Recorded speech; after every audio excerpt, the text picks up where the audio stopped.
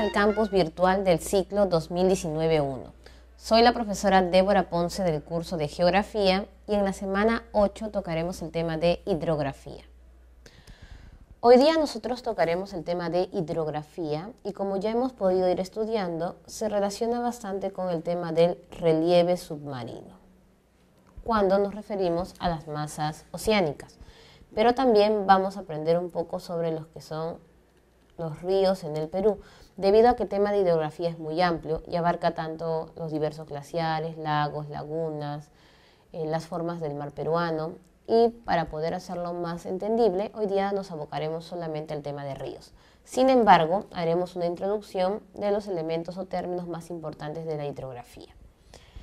La hidrografía va a estudiar la hidrosfera y la hidrosfera es el conjunto de masas de agua. Como sabemos, de toda la totalidad del planeta, 71% corresponde a las masas de agua.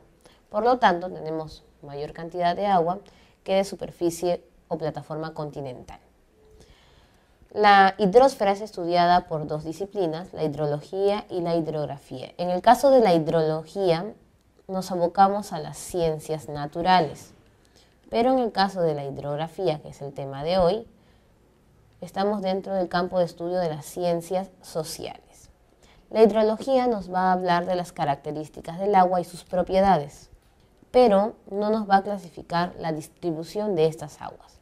En cambio, la hidrografía se encarga de distribuir las aguas en el planeta y obviamente relacionarla con el estudio del relieve y el clima. Siempre nos hemos acostumbrado a clasificar las masas de agua por aguas saladas o aguas dulces, pero este término salado o dulce es una característica de un grupo de masas de agua. Entonces, a partir de ahora, nosotros vamos a decirle vamos a decirle aguas intercontinentales a lo que nosotros le decíamos popularmente agua salada. Y vamos a llamar agua continental al conjunto de aguas que le decíamos agua dulce. ¿Cuáles son las características del agua intercontinental? Como podemos ver, del 71% que corresponde a las masas de agua, la mayoría de estas son intercontinentales, ascendiendo a un 97%, que lo encontramos nosotros en mares y océanos, mientras que un 3% corresponde al agua que encontramos sobre el continente.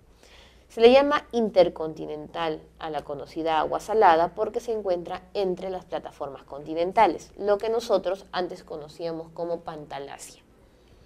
¿Cuáles son las características? La principal es la salinidad, de allí venía el nombre de agua salada. La salinidad va a ser menor o mayor de acuerdo a un conjunto de características. Por ejemplo, según la latitud, mientras más baja sea la latitud, vamos a tener mayor contenido de sal. Y eso es lo que pasa en el Perú. Zonas que están pegadas a la línea ecuatorial contienen en sus mares mayor porcentaje de sal. También se relaciona con la profundidad. Por ejemplo, si nosotros vamos a la playa, solo la brisa oceánica podría llevar la sal hacia nuestros cuerpos. Sin embargo, si nosotros ingresamos dentro del mar a mayor profundidad, vamos a tener menor contenido de sal en nuestros cuerpos. Pero si nos encontramos solo en las orillas de la playa, vamos a tener mayor salinidad. Las precipitaciones son producto de la condensación del vapor de agua. Por lo tanto, no tiene contacto con las sales, de tal manera que si llueve más en alguna zona, el contenido de sal va a ser menor. Y eso es lo que pasa en el Perú. Nosotros nos vamos a dar cuenta que a pesar que la zona norte está más cerca a la zona ecuatorial, tenemos mayor contenido de sal en la zona centro-sur, muchas veces por el tema de las precipitaciones, porque en la zona centro-sur solamente existen garúas o lloviznas. Y un factor para elevar la salinidad es la temperatura, porque todo lugar que está cerca a la línea ecuatorial, es decir, que tiene menor latitud, tiene por lógica mayor temperatura. La temperatura de la masa de agua intercontinental también va a variar en función de la latitud. Como sabemos o hemos escuchado, menor latitud, mayor temperatura. También depende de las corrientes. Por ejemplo, en el caso del Perú, la corriente peruana de Humboldt es un conjunto de aguas frías que va a regular la temperatura, mientras que la contracorriente ecuatorial o la corriente del Niño se encargan de elevar la temperatura en el mar. Y si nos encontramos nosotros a mayor profundidad, la temperatura va a ser menor. Por eso siempre cuando hablamos del fenómeno de la niña, decimos que asciende las masas frías de agua del fondo oceánico. Mientras que si estamos nosotros en la orilla de la playa, vamos a encontrar mayor temperatura porque tiene contacto directo con la insolación o los rayos solares. El color de las masas intercontinentales depende mucho de sus nutrientes. Vamos a encontrar mares azules casi siempre en el hemisferio norte o en zonas cerca al Ecuador. El agua de color verdoso cuando tenemos la presencia de fitoplancton, como en el Perú sucede. Rojizo de tipo de algas rojas. Amarillo por la arcilla o limo que tienen las playas o negro de acuerdo a las algas o animales que se encuentran en el lugar, entre otros colores que se pueden dar en las masas oceánicas. La densidad, que es la fuerza o peso que tiene el agua, va a ser mayor siempre al contenido de sal. Por eso que en la costa centro y sur del Perú existe mayor densidad. Y también depende de la profundidad. Mientras más profundo es el océano, va a tener mayor peso en las fuerzas del agua. Cuando hablamos de intercontinental nos referimos entonces a océanos y mares. Los océanos, ya los conocemos, está el Pacífico, Atlántico, Índico, Ártico y Antártico. El Pacífico se cataloga por ser el más rico en recursos. Tiene mayor tamaño, mayor profundidad e islas. En las islas vamos a encontrar nosotros la presencia de volcanes, así también como los volcanes cerca al litoral del Pacífico y además vamos a encontrar la presencia de aves, especialmente las aves guaneras. El Atlántico es famoso por su dorsal, es la dorsal más grande, recordemos que es la mesoatlántica. El Índico se dice que por muchos años era del contenido de riqueza igual al Pacífico. Lamentablemente los temas de contaminación y comercio hicieron que los recursos del Índico disminuyeran. Tanto así que muchos peces que vienen de la zona asiática casi siempre tienen contaminación en su organismo o vamos a encontrar pequeños gusanitos o larvitas en la cabeza del pez. El Ártico y el Antártico son los océanos congelados. La diferencia es que el Ártico presenta mayor contenido de banquisas o suelo estacional. Dependiendo de la estación que se encuentre en el hemisferio norte, vamos a ver zonas congeladas o no, mientras que el Antártico tiene el permafrost permanente y además la presencia de los glaciares o iceberg más grandes en el océano. En el caso del mar, nosotros vamos a clasificar los mares de dos maneras según su apertura hacia el océano. Hemos escuchado el famoso mar Mediterráneo y lo conocemos obviamente con el nombre propio de un mar. ¿Cómo diferenciar si el nombre le pertenece al mar o simplemente es la característica del mar?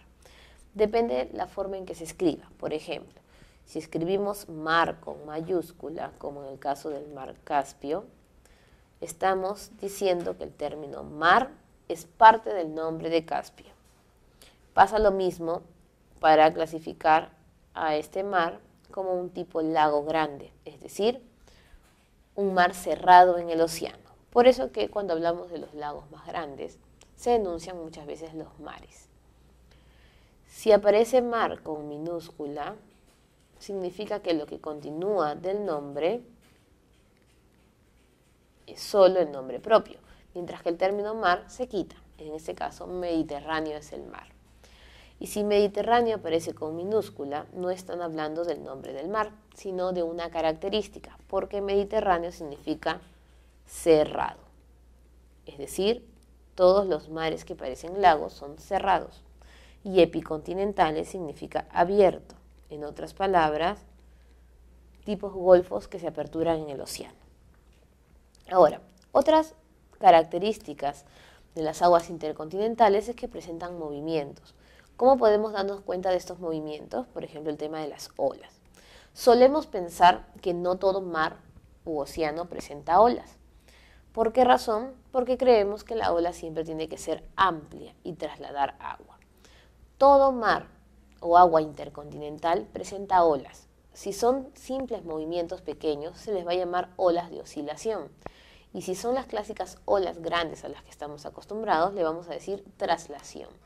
Las personas que realizan diversos deportes en el mar buscan olas de traslación.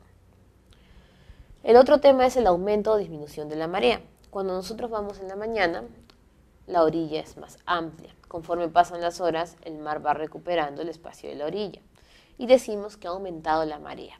En la noche, siempre la marea va a ser más alta porque la marea se rige de la luna.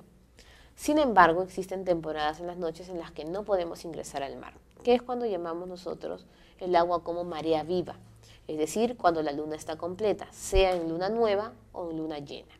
Mientras que vamos a decirle marea muerta, que no es tan peligrosa para ingresar en la noche cuando estamos en cuarto menguante o en cuarto creciente. Y las corrientes simplemente son las distribuciones de tipos de temperatura en el agua, que pueden ser tanto onduladas, rectas o circulares. Así como encontramos temporadas en que hay una mayor marea o menor marea, nosotros vamos a decirle pleamar y bajamar. Pleamar para lo que le llamamos la zona alta y bajamar, como su nombre lo dice, para la parte más baja. Lo que le llaman también marea baja o marea alta. Ahora, en el caso del agua continental es mucho más sencillo. Vamos a decirles aguas lénticas o lóticas. Lénticas cuando no tienen ningún movimiento, como son lagos y lagunas, y lóticas cuando tienen una pequeña corriente. Quienes van a tener corriente o movimiento son los ríos y arroyos. Dentro de otros tipos de aguas continentales vamos a encontrar los glaciares, los casquetes polares, los mantos freáticos también llamadas aguas subterráneas o el vapor de agua. En este caso, a pesar que el agua continental es mínima oscilando a un 3%. De este 3%, casi todo se encuentra en los glaciares, siendo un 69%, incluyendo parte de los casquetes. Por lo tanto, cuando hablamos del calentamiento global y el problema de deshielar estas masas de glaciares o casquetes, estaríamos perdiendo casi más del 50% de las aguas continentales, es decir, un 1.7 o 2% de la totalidad del agua del planeta. Y es un problema debido a que nosotros consumimos el agua continental y no el agua salada o intercontinental, porque transformar el agua intercontinental en una masa de agua potable es mucho más caro y dificultoso que utilizar el agua continental. Como dijimos, nosotros nos vamos a centrar más que todo en los ríos. Entonces el río es una agua lótica en movimiento que presenta una mayor extensión a un pequeño arroyo. El río también tiene partes. Por ejemplo, casi todos los ríos se inician en la zona andina o montañas. A esta zona también se le conoce como divortium aquarium o divorcio de agua porque las aguas se distribuyen en diversas direcciones. En el caso del Perú, el agua va a ir a las diferentes cadenas. Recordemos que teníamos la cadena occidental, la cadena central y la cadena oriental. Esta zona donde nace el río por el mismo término o verbo que utilizamos, le vamos a decir naciente. Puedes decirle también fuente de agua u origen. Puede ser glacial si es directamente de los glaciares o nevados, pluvial si es producto de las lluvias, o nival si es por el contenido de nieve del lugar. En los tres casos se produce un deshielo. El agua va a discurrir por un espacio. Este espacio puede estar contenido de puras rocas o también tener una masa arenosa. El espacio es conocido como cauce, lecho o alveo. Algunos lo utilizan como sinónimo de valle, aunque nosotros solemos decirle valle a la zona adyacente al cauce, y más que todo cauce al espacio que queda cuando ya no discurre el río. El río va a distribuirse por el cauce teniendo una dirección. A esta dirección se le va a llamar curso. La dirección o curso puede ser corta, como en el caso de la costa, que el espacio es muy pequeño, por eso el río también tiene una dirección muy pequeña, o va a ser una dirección larga o un río largo, como en el caso de la selva. Y también podemos distribuir las zonas del curso de tres maneras. Cuando está cerca a las montañas le vamos a decir curso superior. Cuando está entre las quebradas o está bajando por las montañas a la selva baja le podemos decir medio y la zona que ya llega a la ciudad, ya casi para desembocar, le vamos a decir curso inferior. Eso es importante para hablar de la navegabilidad o la torrente de los ríos. Ahora, el río en algunas temporadas presenta más agua o menos agua. Cuando el río tiene más agua, le vamos a decir que está en crecida. y cuando tiene menos agua le vamos a decir que está en estiaje. En el caso de la costa y de la sierra, el estiaje se caracteriza por casi no tener agua en el cauce, mientras que en la selva no es notorio la temporada de estiaje o crecida, pero lo diferenciamos más que todo porque en la crecida produce inundaciones. Este aumento o disminución del agua es conocido como caudal, débito o aforo. Además, hemos mencionado que la selva casi siempre tiene agua, por lo tanto podríamos decir que su régimen es regular. Mientras que en el caso de la costa y sierra nos vamos a dar cuenta que en temporadas de estiaje el cauce no presenta agua, como en el caso del río Rímac en temporadas de invierno, y allí estaríamos diciendo que el régimen es irregular. Además, la fuerza con la que discurre el agua, especialmente en el curso superior, hace alusión a que los ríos son o presentan mayor corriente o escorrentía, y es decir, son torrentosos. Si no son torrentosos, lo contrario sería navegables. Casi siempre los ríos se vuelven más suaves en su curso inferior, pero no todos los ríos del Perú son navegables. Por otro lado, el río va a llegar al final de dos maneras. Recuerden ustedes el tema de relieve. Puede llegar como un chorro de agua, que se conoce como estuario, o se puede abrir como una mano, que nosotros le vamos a decir delta. Recordemos también que el único río en delta en el Perú es el río Tumbes, donde se formaban los esteros y crecían los manglares. Ahora, ¿por qué hemos puesto al final un cuadrado atribuyendo el término de cuenca? Porque muchos confunden desembocadura con cuenca. Para ser más claro, la desembocadura responde a la pregunta cómo termina el río, mientras que la cuenca, dónde termina el río. Puede ser en estuario o en delta que un río termine en tres lugares. Dentro de una masa intercontinental, dentro de una masa continental o que se vuelva agua subterránea. Si el río termina en un océano o mar, le vamos a decir exorreico. Si termina en un lago o laguna, le decimos endorreico. Y si se vuelve agua subterránea, le vamos a decir arreico. ¿Y por qué hemos dibujado una pequeña hojita al costado para hablar de cuencas? Porque en las cuencas, o en todo el camino de tránsito del río, se van a formar tipos de río. Estos tipos de ríos son estudiados por la potamología. En este caso, entonces, cada hojita va a tener al centro una rayita. Esa rayita celeste corresponde al río principal o colector. Se le llama así porque este río, que nace desde la parte más alta y termina en una cuenca grande, va a recibir o va a dar agua en su curso. Este río celestito entonces está dando tres veces agua, que son las líneas amarillas, y está recibiendo también tres veces agua, que son las líneas moradas. Como vemos, cuando un río ingresa a uno principal, se le va a llamar afluente o tributario porque da agua al principal. Y en el caso de los amarillos, los ríos nacen del principal y le vamos a decir efluente o distributario. Listo. Entonces, en el caso de las cuencas serían los finales de los ríos.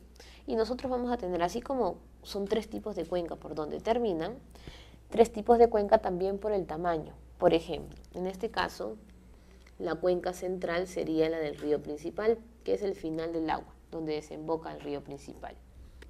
Las manchitas naranjitas corresponden a las cuencas de los ríos que han salido del principal, entonces le vamos a decir subcuencas, pero no dejan de ser cuencas las manchitas rojitas corresponden a las desembocaduras dentro de los ríos principales. Y como van a ser al final parte de la cuenca morada, le vamos a decir intercuenca. Casi siempre nosotros contamos las moraditas y naranjas, es decir, las cuencas grandes y las subcuencas. Por allí hemos dibujado un río blanquito, que no recibe ni nunca da agua de nadie, pero también tiene una cuenca. Pero como es pequeña, sin recepción de agua, le decimos cuenca interna, pero no deja de ser cuenca.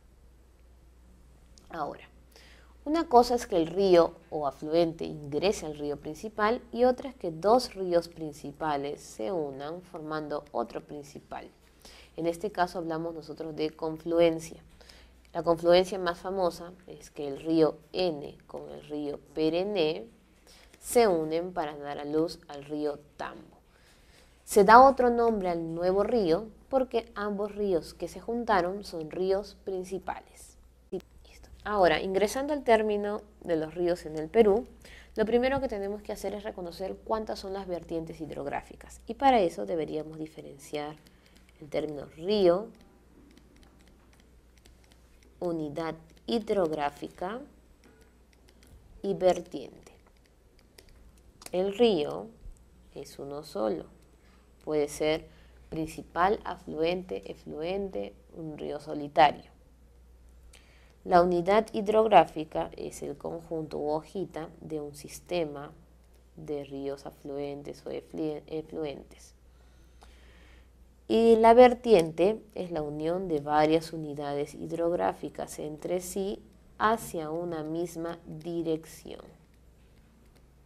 En este caso, nosotros en el Perú tenemos tres vertientes hidrográficas, porque son tres las direcciones en las que viajan las unidades hidrográficas.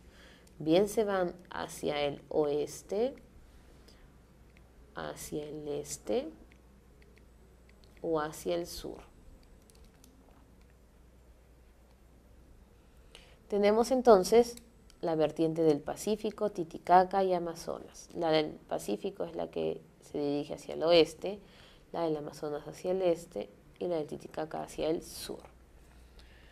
Ahora vamos a hacer un cuadro resumen para entender estas vertientes y luego ya empezar a hablar de cada río de las vertientes. Característica principal. Se dice que la vertiente del Pacífico es considerada la más poblada porque si nosotros recordamos, Casi todos los valles están llenos de casa. El mejor ejemplo es el río Rímac. La Titicaca es binacional porque le pertenece tanto a Perú como a Bolivia. ¿Por qué? Porque el lago Titicaca es también binacional. Y la más extensa es la del Amazonas, no tanto por la cantidad de ríos o unidades que posea, sino más que todo por quien rige el camino que vendría a ser el río Amazonas. Como el río Amazonas es el río más grande del mundo, Toda la vertiente por donde discurre el Amazonas es la más extensa. Podemos contar por número cuencas, recuerden las bolitas finales donde desembocaban los ríos, o unidades hidrográficas, que es el conjunto de ríos hacia una zona. Si contamos las cuencas, el Pacífico tendría 53, Titicaca 9 y Amazonas 45. Pero si contamos las hojitas, el Pacífico tendría 62, Titicaca 13 y 84 Amazonas. Si se dan cuenta, varía el número, pero no el orden. Siempre la que tiene mayor número de ríos vendría a ser la del Pacífico, luego estaría la del Amazonas y la del Titicaca, salvo el caso cuando hablamos de unidades que se invierte el Pacífico con el Amazonas. Recursos. Cuando hablamos de recursos hablamos de los pececitos en el río o de repente de moluscos o crustáceos. La que tiene mayor contenido de pececitos es el Amazonas. Por allí alguno de ustedes dirá, pero el Pacífico se supone que tenía mayor cantidad de recursos. Pero cuando hablamos del Pacífico Océano, decimos que tiene más recursos. Pero si hablamos del Pacífico como conjunto de ríos, nosotros no consumimos pececitos del río Rimas, por ejemplo. Es porque no existen muchos peces. Más que todos tenemos camaroncitos. Y la del Titicaca es regular porque no hay diversidad de peces, además que es muy pequeña la zona de la cuenca. Navegabilidad. Ningún río del Titicaca es navegable. El que es navegable es el lago Titicaca, no los ríos, porque están envueltos entre montañas, además que son circulares y no tienen un viaje extenso. Todos los ríos del Amazonas son navegables en su curso inferior, salvo el río Ucayali, que es navegable desde su curso medio.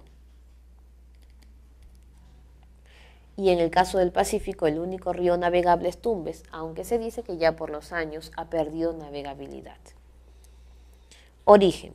Todos van a iniciar en la zona glacial y pluvial. Producto de las lluvias. La diferencia va a ser nival, Pacífico y Amazonas son nivales, mientras que el único que tiene origen en lagos por la cantidad de agua que posee y las lluvias es la del Amazonas. Naciente. Así como hablábamos que habían tres direcciones, recordamos para la naciente el tema de la cordillera de los Andes y decíamos que la cordillera de los Andes tenía dos nudos. El nudo de Pasco en Pasco y el nudo de Vilcanota en Cusco. Además teníamos tres cadenas, la cadena occidental, la cadena oriental y la cadena central. Y la central no terminaba porque aparecía el lago Titicaca. Nosotros dijimos la clase de cordillera de los Andes de relieve que había una regla que utilizar en los ríos. Por ejemplo, los que nacen en la cadena occidental casi siempre se van al Pacífico. Los que nacen en la cadena oriental casi siempre se van hacia la selva, es decir, al Atlántico. Y los de la central más que todo dan origen a los ríos del Titicaca. Pero aquí ya para ser exactos, la cadena occidental sigue siendo la naciente del Pacífico. En la Amazonas no solamente vamos a hablar de la cadena oriental, sino de los nudos en general. Y como el Titicaca está al sur, vamos a hablar de las dos cordilleras que están al sur y nosotros las mencionamos en el tema de relieve. Cordillera volcánica para el lado de la costa y Carabaya para el lado de la selva. Luego, según desplazamiento, recuerden cómo se llamaban los valles. Los valles de la costa eran valles transversales porque tenían un viaje corto y horizontal. En este caso va a ser igual, de este a oeste. En el caso, por ejemplo, del río Amazonas, nace en la cadena occidental, pero no viaja hacia el oeste, sino hacia el este. Y allí nos vamos a guiar del término de la selva. Es transversal y longitudinal a la vez porque son más largos y viajan del oeste al este. Entonces no solamente manda la cadena, sino además hacia dónde van. Los del Pacífico siempre van al oeste y los del Amazonas siempre van hacia el este. Y en el caso del Titicaca, como le dan la vuelta al Titicaca, es decir, este es el Titicaca y le va a dar la vuelta el río, le vamos a decir entonces nosotros un viaje radial porque busca el centro y centrípeto porque contrae. La desembocadura, todos los ríos en el Perú terminan como chorros de agua o estuarios, solo uno termina como una mano que es Tumbes y es el único río en terminación delta. Por cuenca o donde terminan, Titicaca, em, perdón, Pacífico y la selva son exorreicos porque ambos terminan en océanos. El del Pacífico, su nombre lo dice en el Océano Pacífico, y el del Amazonas va a ir luego hacia el Atlántico. Y en el caso del Titicaca es endorreico porque termina en un lago o laguna, en este caso en el lago Titicaca. Y los únicos ríos arreicos que se vuelven, es decir, subterráneos, están en el Pacífico. Los cauces son iguales, todos son rocosos, salvo la selva que son arenosos, por eso hablamos de las playas en la selva baja. En tamaño, cortos son tanto los del Pacífico como el Titicaca y los largos son los del Amazonas, de allí viene el nombre longitudinal. Si hablamos de recorrido, todos son de origen andino, porque están en la cordillera de los Andes, pero la diferencia es que los del Pacífico van hacia la costa y los de la selva hacia la parte del Amazonas. Régimen ya habíamos mencionado, irregular tanto Pacífico y Titicaca, pero como en el caso del Amazonas el estiaje no es notorio, es regular. En base a la regularidad también podríamos hablar del caudal. Si es irregular el Pacífico y el Titicaca es porque tienen poco caudal y siempre vamos a encontrar abundante caudal en el Amazonas que le da el nombre de regular. Y todos los ríos siempre van a ser torrentosos por su origen en la zona de los Andes. La diferencia es que desde el curso medio o inferior el Amazonas ya se vuelve navegable. ¿Por qué? Porque allí están los meandros y los meandros permiten la navegabilidad. Antes de pasar a hablar de cada río, tendríamos que mencionar algunas obras hidráulicas, porque se van a dar cuenta, especialmente en la costa, que todos los ríos mencionan ciertas obras. Un río puede tener un canal. Entonces, si este es el río, nosotros llevamos agua del río hacia otra zona, que puede ser el valle, en el caso de la costa, las pampas, o hasta podría ser otro río. La tubería o el espacio por donde se lleva agua es considerado canal. Represas. Tenemos nosotros tres tipos de represa. Si este es el río y nosotros colocamos murallas alrededor del cauce para impedir que se desborde, sería un tipo de represa.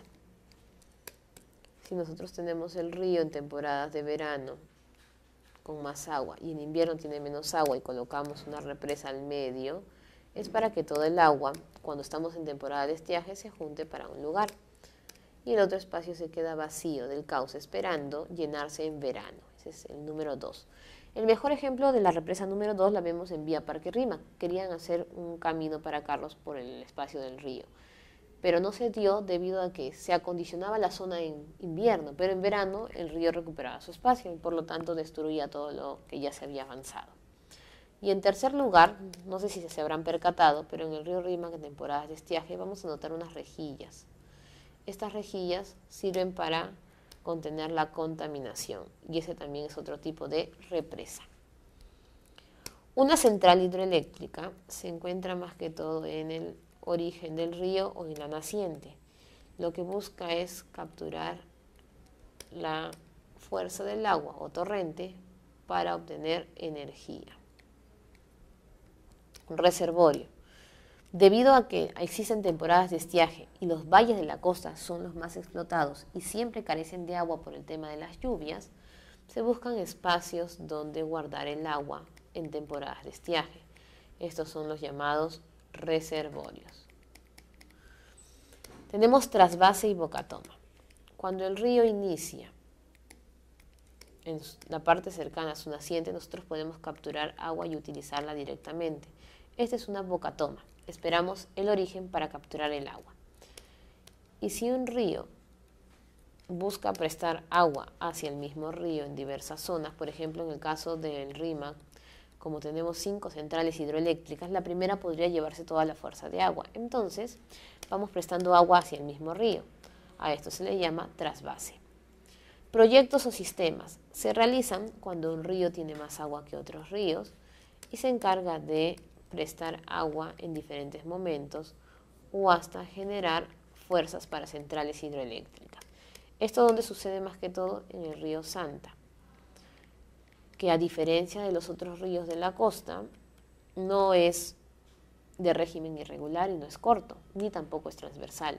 Y como siempre tiene más agua, entonces termina prestándole agua a los otros ríos. Muy bien, ahora vamos a mencionar algunos ríos y sus características. Cuando hablamos de río podemos atribuirnos a sistemas de cuencas o solamente a un río que se ha formado, debido a que existen ríos que son confluencia de otros y ríos que ingresan a ríos principales. En el caso del Pacífico tenemos el río Sarumilla. El río Sarumilla es considerado una talhue. ¿Qué significa talhue? Que sirve de frontera natural contra un país, en este caso con el Ecuador. El río Sarumilla también es un río intermitente. Carga con fuerza agua hasta mayo. Luego tenemos nosotros el río Tumbes. El río Tumbes es conocido también como Puyango. También tiene frontera con Ecuador, pero no es Talhue. Es el único que termina en delta humano. Es el único navegable, como ya habíamos mencionado en la costa. tiene la presencia de pongos por la cercanía con la cordillera del Cóndor, que es una zona selvática o amazónica. Tiene también cascadas.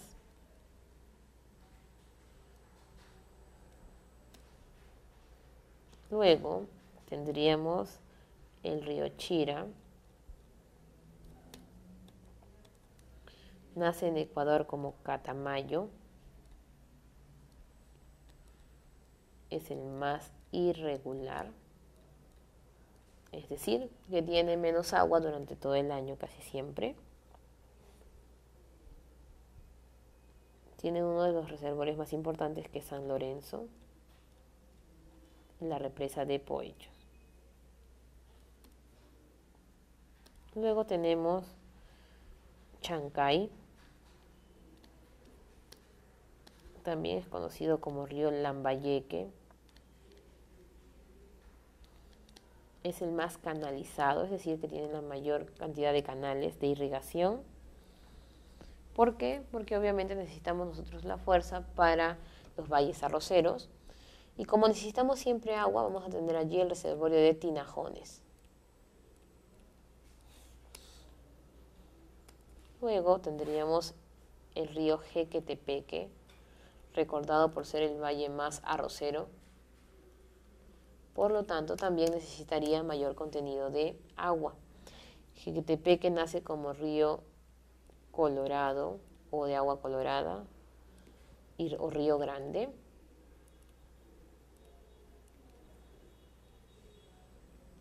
Y tiene el reservorio más importante de toda la costa que es Callito Ciego.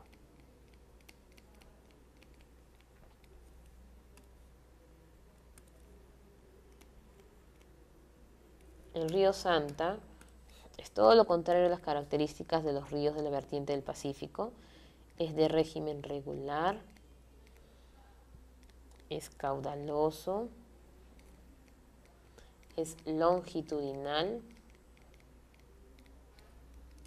es energético, pero por no encontrarse en la capital, no conseguimos la zona para ponerle centrales hidroeléctricas, sino más que todo para el proyecto especial Chavimochiqui-Chinecas, que presta agua.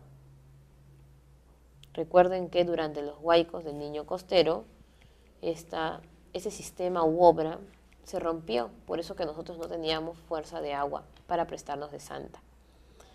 Rima, uno de los ríos más importantes de la costa, tiene cinco centrales hidroeléctricas, es el que más centrales hidroeléctricas posee, luego está el Mantaro, lamentablemente es el más contaminado, pero a su vez es el más pecuario, es decir, que tiene mejor ganadería, también es considerado el más poblado. Recordemos que su origen antes era en el Nevado de Paca y ahora hablamos de la zona de Urcos. Su principal afluente es Santa Eulalia. Le llaman también el río de los Huaicos. Y tenemos la cercanía con el Chillón, que es considerado un atractivo turístico y además uno de los más limpios. A pesar que el del Rímac es uno de los más contaminados. Rímac, recuerden que se le decía río hablador porque antes tenía inmensas piedras que sonaban con el influjo de la fuerza del agua, tenía mayor contenido de pececitos, lamentablemente la contaminación ha cambiado como era el río Rímac. Y Chillón por la fuerza de las gotas que caen de una zona a otra dentro de su cauce. Luego tenemos nosotros el río Ica, que es la extensión del río Tambo, de la confluencia del N y el Perené.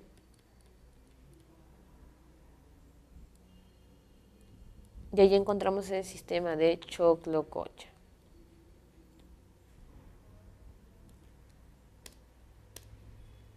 Luego tenemos Majes y Ocoña. Ambos ríos se encuentran en la zona de Arequipa y son importantes por los cañones que tienen. En el caso del Majes es el Colca y en el caso del Ocoña el Cotahuasi. Luego tenemos el río Chili. Recordemos siempre que lo más importante para nosotros en la costa casi siempre es Lima, pero un segundo punto importante es Arequipa. Y Chile es considerado importante por no solamente abastecer la Reserva Nacional de Salinas y Aguada Blanca, sino por tener una de las centrales más importantes de la costa luego de las del RIMAC, que es Charcani B. Y tenemos dos ríos importantísimos, Tambo, por ser el más extenso, nace desde la zona andina, del otro extremo de la occidental, y el Caplina, por ser el río más arreico, es decir, de agua subterránea. Ahora pasaríamos a la vertiente del Amazonas. Lo primero que tendríamos que hacer es hablar del río Amazonas, que si bien no conforma el río en sí para el Perú, por ejemplo, es el río más grande del mundo, pero para nosotros el río más grande sería el Ucayali, porque está dentro del sistema del Amazonas. Dentro del Amazonas, entonces, o características, son más de 25 características, es el más grande, el más profundo, el más caudaloso, el más energético, el que tiene la mayor cantidad de islas fluviales. Dentro de sus títulos también vamos a encontrar el que tiene más afluentes. Entre otros títulos, hasta llegar a uno de los últimos que tiene el río subterráneo más grande. Porque hemos encontrado, según estudios, que todos los ríos poseen un río subterráneo. El Nilo, que era antes el más grande, tenía un río subterráneo de menor extensión, pero el Amazonas tiene un río subterráneo del mismo tamaño de dicho río. Si hablamos del Amazonas en sí, tendríamos que hablar de sus márgenes. Para el lado izquierdo tenemos Nanay, Napo y Putumayo. Y para la margen derecha, Yavari. Lo más sencillo para nosotros es poder recordar Yavari y por lógica extender los otros tres que nos faltan para la margen izquierda. Dentro del Amazonas tenemos ríos importantes como el Marañón. El Marañón es el río que tiene más pongos, tiene más de 16 pongos. Y es el más energético además de ser el más interdepartamental.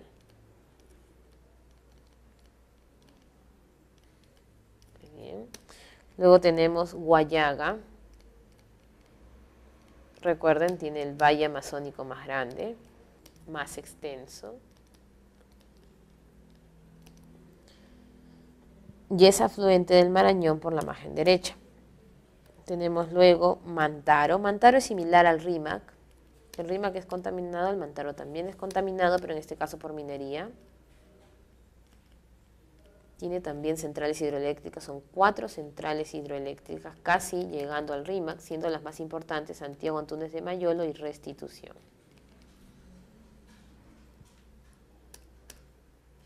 Además, que es el valle más poblado de la zona amazónica y el valle interandino más grande. Apurímac es famoso por tener el mismo origen que el río Amazonas, que es la quebrada de Apacheta. Es el primero en llegar al río Amazonas. Luego tenemos Urubamba, lo vamos a recordar por temas de relieve, considerado entonces el valle más fértil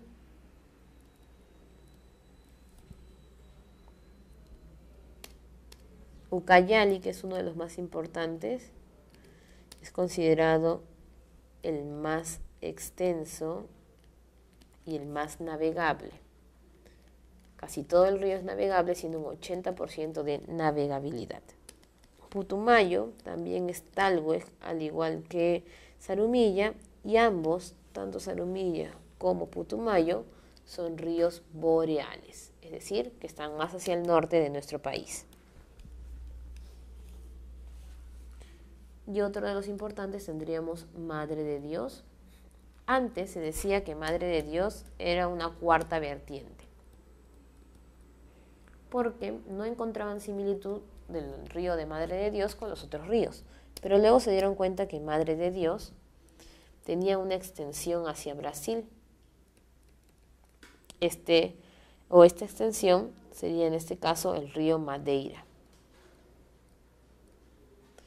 Cuando examinaron o analizaron el río Madeira, se dieron cuenta que tenía las mismas características que el río Amazonas, sumando la extensión al Amazonas y concluyendo que Madre de Dios ya no sería una cuarta vertiente, sino está dentro de la vertiente del Amazonas. Es importante la zona de Madre de Dios porque tiene 16 zonas de vida y 10 zonas además de protección. le llaman por eso las 26 zonas de vida. Y ya terminando, en el caso del río, la vertiente del Titicaca, aquí es más sencillo porque son menos ríos. Y vamos a destacar algunos. Ramis, Coata y Desaguadero. El río Ramis nace con diversos nombres. Por ejemplo, le llaman Río Grande, También le llaman río Carabaya, Azángaro y luego Ramis, aunque en algunos lugares lo conocen también como el río Poto, que hace alusión a profundidad, como cuando ellos toman la chicha en esos envases. En el caso del Coata, se presenta con casi los mismos nombres, aunque también le llaman cabanillas.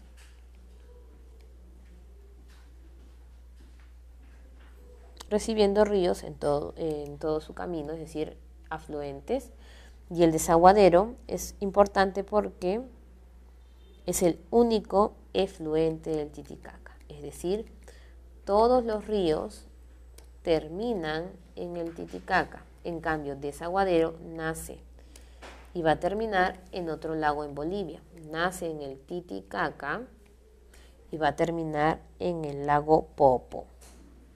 Si se dan cuenta, casi siempre utilizamos nombres graciosos para hablar de la vertiente del Titicaca, pero esos nombres graciosos significan profundidad. Si hablamos de algunas características adicionales, el río Ramis es el más largo, minero, caudaloso y pecuario. Se parece bastante a Rima o Mantaro. Coata es el más poblado, energético e industrial. Y además es importante porque abastece a la ciudad de Juliaca pero hemos podido darnos cuenta por las últimas noticias del año pasado que este río está sufriendo una fuerte contaminación. Y para terminar el tema de hidrografía, no podemos dejar de hablar del mar peruano y de sus glaciares. En el caso del mar peruano también se le conoce como mar de Grau. Tenemos una extensión de 200 millas hacia el oeste, es decir, en anchura. Vamos a hablar de su distancia desde la boca de Capones en la zona o frontera de Ecuador hasta el hito número 1 en Tacna, que se fue este hito definido como frontera marítima por la controversia que tuvimos con Chile y fuimos hasta la Corte Internacional de Justicia. Tenemos la mayor cantidad de reservas hidrobiológicas, especialmente de fitoplancton, y petroleras, especialmente en los tablazos, la zona del Zócalo. Tiene una profundidad de más de 6.000 metros, ¿por qué? por el tema de las fosas. Ya hemos trabajado antes los dos tipos de fosas en el mar peruano. Tenemos dos zonas, la zona norte y centro-sur. La zona norte es más cálida que la zona centro-sur y también es más transparente en el color de sus aguas, mientras que la centro-sur es verdosa. ¿Por qué? Por el tema del afloramiento. ¿Cuál es el afloramiento? Los vientos alisios ingresan hacia la corriente y la corriente peruana levanta el fitoplancton, que es el alimento para los peces. Ese es el afloramiento. Estas corrientes Em, también va a poder determinar el clima, nivelando y siendo un agente termorregulador y va a tener una alta productividad, no solamente por el afloramiento, sino por el contenido de sal, oxígeno y dióxido de carbono. Y además, la corriente peruana tiene dos zonas o dos partes, una que es menos profunda, hasta 200 metros, casi a la distancia del zócalo. Estamos hablando de también una zona más fría, y hablamos de una profundidad que llega hacia la mitad del talud, que es la zona más caudalosa. En el caso de los glaciares, casi todos están en las zonas altoandinas, en la cordillera de los Andes, teniendo más de 5.000 metros sobre el nivel del mar. Ellos son la fuente de distribución de aguas y almacenamiento de agua dulce o agua continental. El Perú tiene 3.044 glaciares, pero lamentablemente, a pesar que están distribuidos en sus tres cordilleras más importantes, por el tema del cambio climático, en menos de 54 años ha perdido más del 50% de la masa congelada. ¿Y qué hacer frente a toda esta problemática? tenemos allí nosotros dos temas que tocar, que es el manejo de cuencas y la gestión de riesgos. ¿Cómo hablar del problema? Cuando hablamos del manejo de cuencas nos referimos al cuidado de los ríos, pero le decimos cuenca porque los ríos se entrelazan entre sí formando confluencias, afluentes o efluentes. ¿Cómo debemos cuidar las cuencas? Por la estabilidad de las zonas o de las laderas, por evitar la contaminación y por hacer un mantenimiento de sus recursos. Si se dan cuenta, el manejo de cuencas hace alusión más que todo al cuidado natural. Mientras que la gestión de riesgos hace referencia al cuidado de las personas frente a los problemas suscitados en las cuencas. Y en este caso, cuando hablamos de gestión de cuencas, vamos a hablar de algunos elementos. Vamos a poner un caso social porque la gestión de riesgos se maneja en diversos aspectos y de allí vamos a concluir los términos geográficos. Por ejemplo, si nosotros salimos de casa, posiblemente podemos ser víctimas de diversos problemas nos pueden robar, podemos sufrir un accidente de tránsito, podemos em, hasta perder la vida de repente por una enfermedad, etc. O podemos ser víctimas de acoso sexual. Vamos a tomar el ejemplo del robo. Entonces, hay situaciones diversas en cuanto al tema del robo. Si hablamos en función del agente policial, de la policía, no es lo mismo a que el policía esté antes del robo, aparezca durante el robo o no aparezca y aparezca después del robo. La diferencia también es en los materiales que estamos portando nosotros. No es lo mismo que nos roben solamente tener nuestros pasajes o de repente dentro de nuestra mochila tener nuestra laptop, celular o algún objeto de valor. Muy bien. Entonces, cada uno de estos elementos van a tener un nombre. Todo lo que nos puede pasar se van a llamar amenazas. La presencia del agente policial va a ser la gestión de riesgos. La amenaza también se puede llamar peligro. El riesgo va a ser lo que nosotros portamos. Y nos falta un último elemento, que es la exposición de nuestros materiales, que sería vulnerabilidad. Esta exposición puede ser porque portamos visiblemente los objetos, porque pasamos por una zona peligrosa o por la hora en la que estamos transitando. Esto mismo puede pasar entonces en función de las amenazas naturales. Imaginemos el río, cuidado por el manejo de cuencas. Pero si no hay un buen manejo de cuencas, ¿qué podría pasar? Las personas que viven cerca a los ríos están expuestas a diversas amenazas o peligros, como pueden ser los huaicos, inundaciones, entre otros. ¿Cuál es el riesgo si son afectados por esto? Pueden perder la vida o pueden tener pérdidas materiales. Y aquí tenemos amenazas o peligros y aquí tenemos riesgo. ¿Cuál es la vulnerabilidad? La cercanía al río. Y la gestión de riesgos en este caso la realizarían las autoridades. Al igual que en el caso del policía, no es lo mismo gestionar antes de la presencia de los peligros, durante la presencia del peligro o después cuando esto ya se volvió un desastre. Es decir, lo que nosotros queremos lograr con la gestión de riesgos es mitigar las consecuencias de los diversos peligros o amenazas. Luego de haber comprendido un poco más el tema, pasaremos a resolver algunas preguntas para poder aclarar nuestras dudas.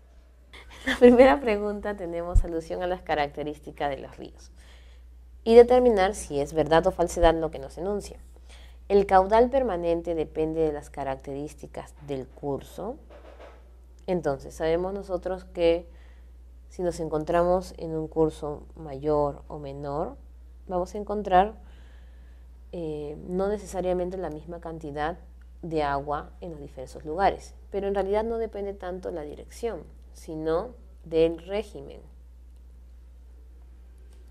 Si uno tiene un régimen regular u otro un régimen irregular, es decir, si siempre recibe o no recibe agua, vamos a encontrar mayor o menor presencia del caudal, por lo tanto esto sería falso. Más depende del régimen que del curso.